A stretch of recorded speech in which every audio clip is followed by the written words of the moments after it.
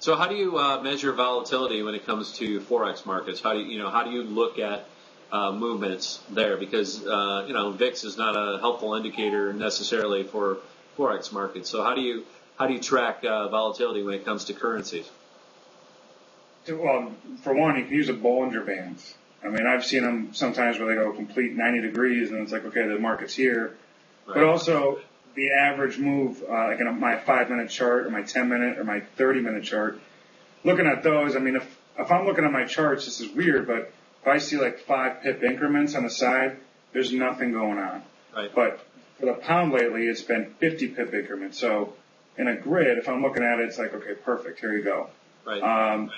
Depends on the time of the news too. Like if something big is coming out, it's it's going to ramp up before that or ramp down in bad news or good things. And what do you bad. use? What do you use to track some of that? Uh, you know, uh, external European and Asian market news. What do you use to, you know, for our viewers who aren't familiar with those markets, what kind of tools do you use to, you know, uh, facilitate and, and guide, you know, give yourself some guideposts?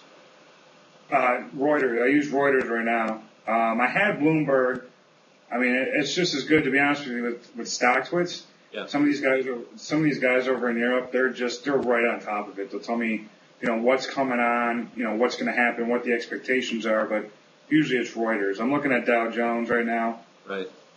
You know, I might even go back to Bloomberg to be honest. Is, is, is news more important, less important, equally important as it is in stocks? Uh, it's probably just as equally important. Okay. Um, only because, like today, I don't know if you saw some of my tweets. I'm like, all right, I think the stock market's there's going to be there's no catalyst today, so the market was going to be flat. But I thought the equities, the indices were going to drop, so I bought the dollar. Right. Um, but the, the news is very important because so you, so you will trade some of the uh, uh, future index futures also when you're when you're mixing in with uh, the forex.